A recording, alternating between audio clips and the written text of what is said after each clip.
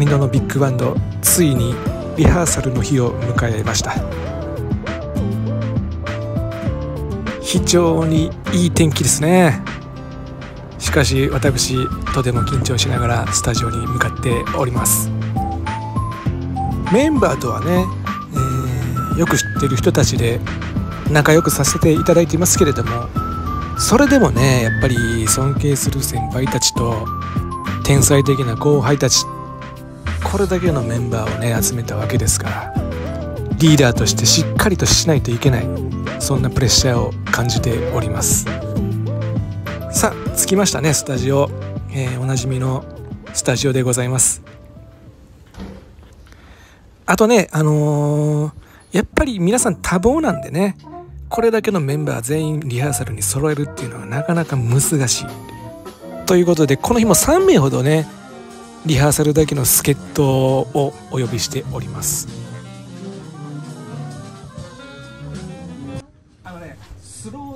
さあ始まってますね、えー、これは、えーと、新しい曲を音を出す前に簡単な説明をしているっていうそんな場面ですね。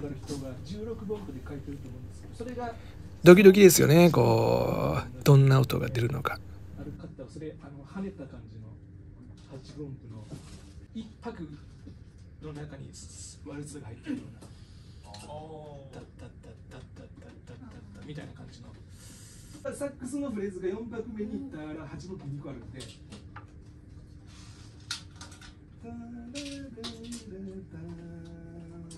キルト同時に予備拍だ予備拍3拍目がダブってますけど3拍目で止まるのにもう一回3拍目がある、切ると同時に呼吸3さあ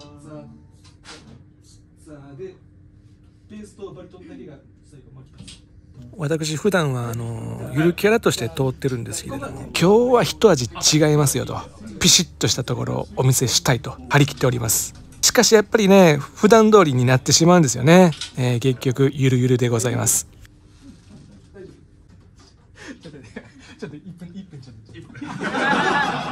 これは僕が資金の振り方を迷い始めてドツボにはまってるっていうとこですね。1分ちょうだいって。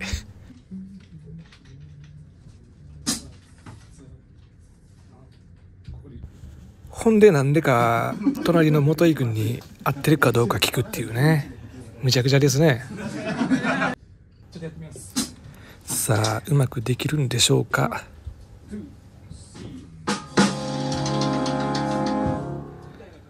なんとかうまくいったみたいですけど。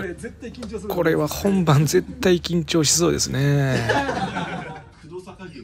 黒さ加減は結構こってりで。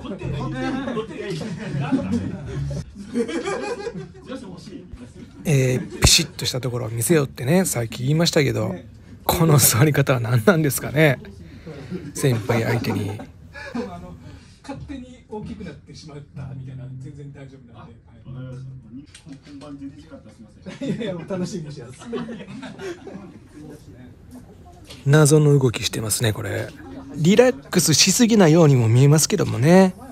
逆でずっと変な汗かいてましたよ。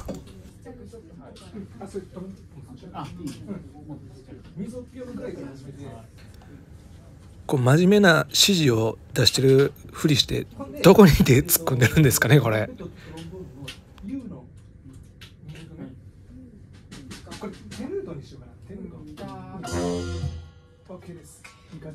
やっぱりこのメンバーなんでね自分が書いた曲の想像をはるかに超えてくる音を出してくれるんでもうそれは感激ですよね。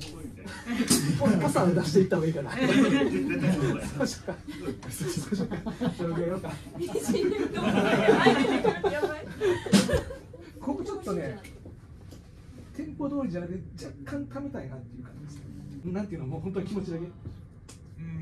さて案の定私わけのわからない指示を出し始めてますね。これ別になんかもう合図とか指示とかないんでもうあれでフィーリングで。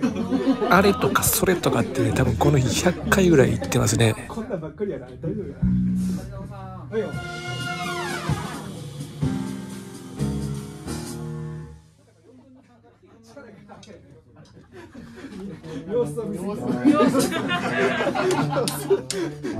そんな僕にでもねやっぱり皆さんねちゃんと答えてくれるんで優しい。ありがたい。だからあんまりこう誰かが入るのを待ってこれに合わせようとかじゃなくて本当にもうみんなでもう誰誰も待たずにこう少し。ちょっともう一回もう一回やるかな、うん、今日は P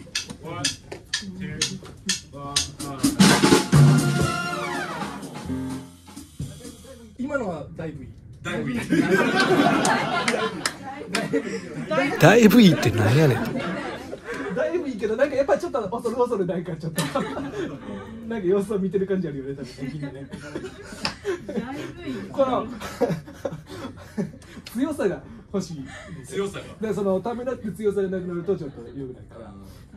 パワー。これパワー。パワーパワーパワーこっちは元井君が言ってもらって安心みたいな。結構恐る恐る。いやもう普通の感覚でいきます。はい、もう一回。この後のテイク最高でしたね。素晴らしい。R よりちょっと前から行って、R から先に進めるっていう成功体験をちょっとしたい。R で結構続きで入るとちょっと怖いなって思う時があったんで、成功できたことがあるんで。これでもちょっと全体やりたいなと思うんですけど、個別に。成功体験を。一番成功体験。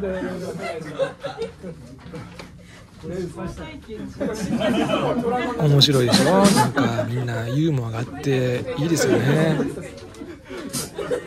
できるまで次の小説の「うんパー」ってい。うのがあるでしょうんパーってねそれ向けてちょっとエネルギーを貯めていただくからチャージチャージをお願いします。